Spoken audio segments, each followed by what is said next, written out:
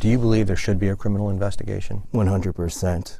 More than 100%. Mike Morales wants Sterigenics investigated for releasing ethylene oxide, a cancer causing chemical, without being filtered. When you started there, or at any time, did anyone tell you how dangerous this chemical could be in the form of cancer? Not that, no, not cancer. They did say it was explosive, like literally like would make a big blow up that whole area. He says he worked at the company as a forklift driver in the early 2000s while he was in his 20s and fresh out of the military.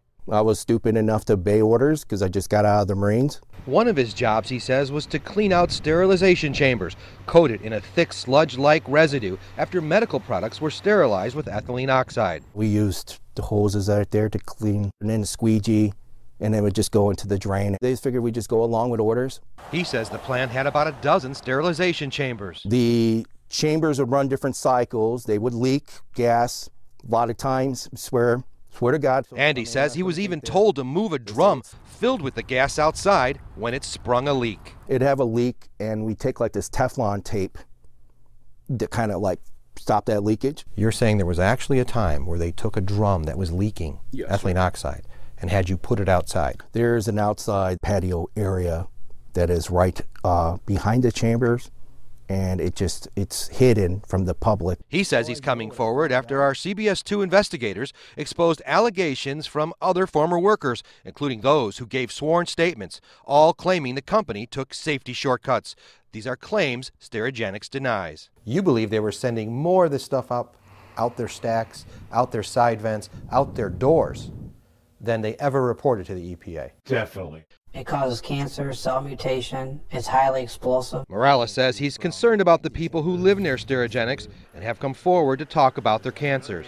I feel bad for the people. I feel bad like when I found out about the, the one that's dying of cancer. He was leaving his four-year-old son. And that, that hurt me the most. He's talking about Matt Haller, Lost uh, 75 pounds. who's battling stage 4 stomach cancer and trying to create a few more memories for his wife and son. CBS in Chicago revealed a few days ago that ethylene oxide was often released directly into the air. We went to Washington, where government leaders are now calling for civil and criminal probes. We do know this chemicals, some chemicals have been tested to cause cancer. Ethylene oxide is one of them. Both Senator Dick Durbin and Senator Tammy Duckworth want anyone with information about possible wrongdoing involving this chemical to contact authorities. So, how important was it that the whistleblowers came forward? incredibly important. And um, we're also hearing from some other whistleblowers as well. My office has received uh, information. Duckworth says whistleblowers from the EPA have been coming forward too. I didn't know about it at the time. Right now, I feel really bad. This is why I'm here to make a difference to help those people out. He should not feel guilty about that. He should certainly feel proud that he stepped forward to bring his message. It was a very vicious, vicious cancer and uh, very painful. TJ Kelleher lives near the company and wants to know if the gas caused his wife Eva's pancreatic cancer and wonders about his neighbors too. I think as a cancer focus, when you have just 150 feet, we have three incidences of cancer. This home was uh, what we built. Our children were raised here. And to think that the very thing that she loved the most, this house, could have killed her. I loved it here. All the memories I had here. 15 year old Julian Glick spent much of his childhood around Sterigenics, fishing at this pond and practicing soccer on nearby fields, places that are now the site of air testing canisters. In sixth grade, he was diagnosed with leukemia. Every time I went to the hospital, I just had like a terrible feeling in my stomach. Like, I don't know if I'm going to come back. I thought I was going to die. It was a very scary feeling. Now in remission and in high school at Hinsdale South, he's recently learned air testing shows elevated levels of ethylene oxide there too. He blames the chemical for causing his illness. I am very angry that they that this could have been totally preventable, and my life could have been a lot better than it is because of yeah, because the uh, leukemia, it was bad, and it sucks that it was preventable. Recent U.S. EPA testing and private Willowbrook testing showed elevated levels of ethylene oxide, so much so the Illinois EPA shut down the plant's operations involving the use of the gas in Willowbrook.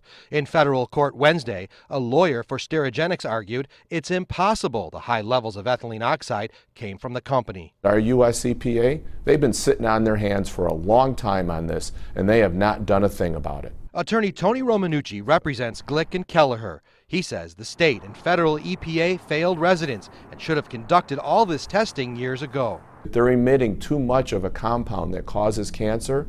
They still can't contain it. And he wants to know if the EPA even knew about these three additional warehouses, two in Burr Ridge and another one near the main facility in Willowbrook, especially since these whistleblowers say in these warehouses, sterilized product would off gas. Morales said he worked in one of those warehouses, this yellow one, for a period of time too. There was not a ventilation room in there whatsoever. So where did that gas go?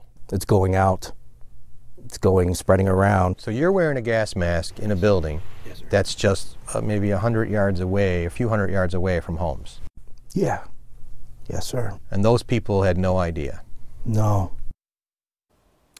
Sterigenics has denied off-gassing at other warehouses and says it follows all regulations. The company says it never intentionally allowed ethylene oxide to be released in any illegal manner and have no record of any leaking EO drum during Mr. Morales' tenure.